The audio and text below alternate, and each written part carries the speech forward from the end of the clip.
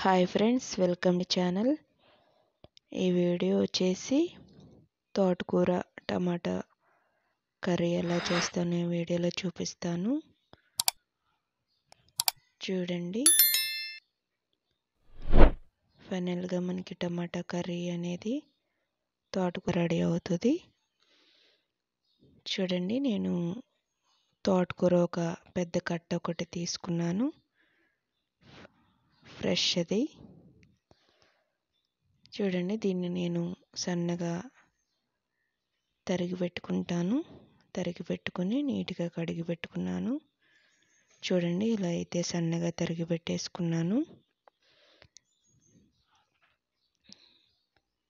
వాటికి కావలసిన టమాటాలు కూడా నేను సన్నగా తరిగి పెట్టుకున్నాను. పచ్చిమిర్చి ఉల్లిపాయలు కరివేపాకు చూడండి. వీటిని నేను స్టవ్ మీద ఒక గిన్నె తీసుకుని గిన్నెలో ఒక టూ స్పూన్స్ ఆయిల్ అయితే వేసాను.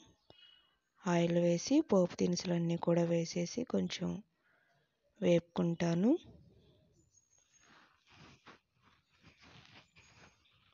చూడండి.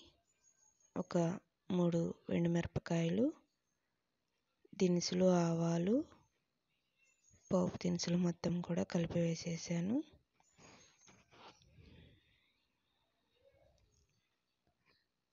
చూడండి అవి కొంచెం వేగిన తర్వాత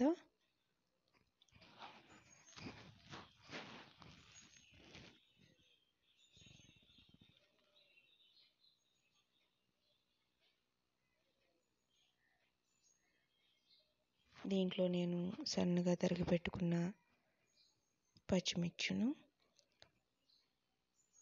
ఉల్లిపాయ ముక్కలు వేసేసి ఫస్ట్ వేపుకుంటాను.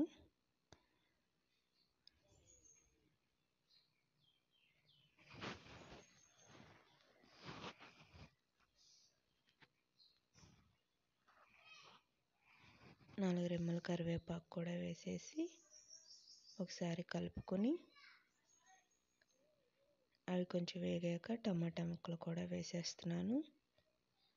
వేసేసి కొంచెం వాటిని ఉడికించుకుంటాను. ప్లేట్ పెట్టేసి కొంచెం ఉడికిన తర్వాత నేను సన్నగా తరిగి పెట్టుకున్న ఆకుకూర కూడా తోటకూర కూడా వేసేస్తున్నాను. వేసేసి ఉడికించుకుంటాను.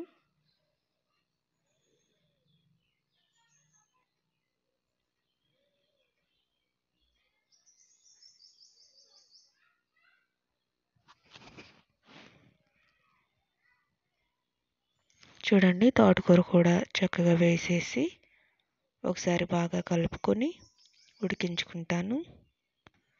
ప్లేట్ పెట్టేసి దాన్ని ఒక త్రీ మినిట్స్ ఉడికించుకోవాలి. చూడండి మనకి చక్కగా ఎలా అయితే ఉడికిపోయింది. వాటర్ అంతా కూడా చక్కగా ఇంకిపోయి అలా ఉడికిపోయింది.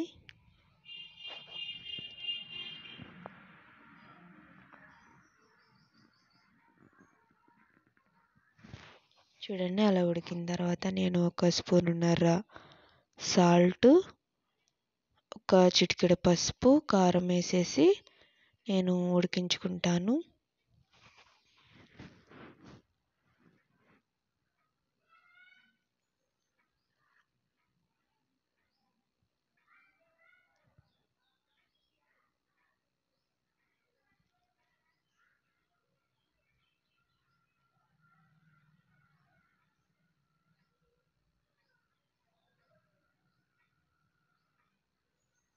చూడండి అవి మూడు వేసిన తర్వాత బాగా ఒకసారి కలుపుకోవాలి. కలిపిన తర్వాత దాన్ని ప్లేట్ పెట్టేసి ఒక టూ మినిట్స్ మగ్గిన తర్వాత దీంట్లో నేను కొంచెం చూడండి చక్కగా మగ్గుతుంది.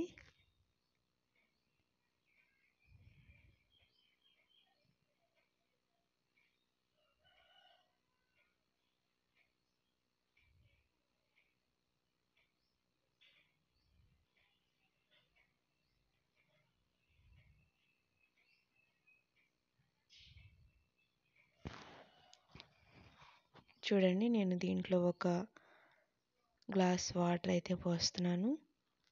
మనకి పులుసు కోసం ఒక గ్లాస్ వాటర్ అయితే పోస్తున్నాను. నేను ఇంకా చింతపండు పులుసు పోయట్లేదండి టమాటాలే కొంచెం ఎక్కువ తీసుకున్నాను. అందుకే నేను ఒక గ్లాస్ వాటర్ పోసాను. చూడండి మనకి ఫైనల్గా అయితే ఇలా చక్కగా మగ్గిపోయింది. వాటర్ అంతా కూడా చక్కగా ఉడికిపోయినాయి.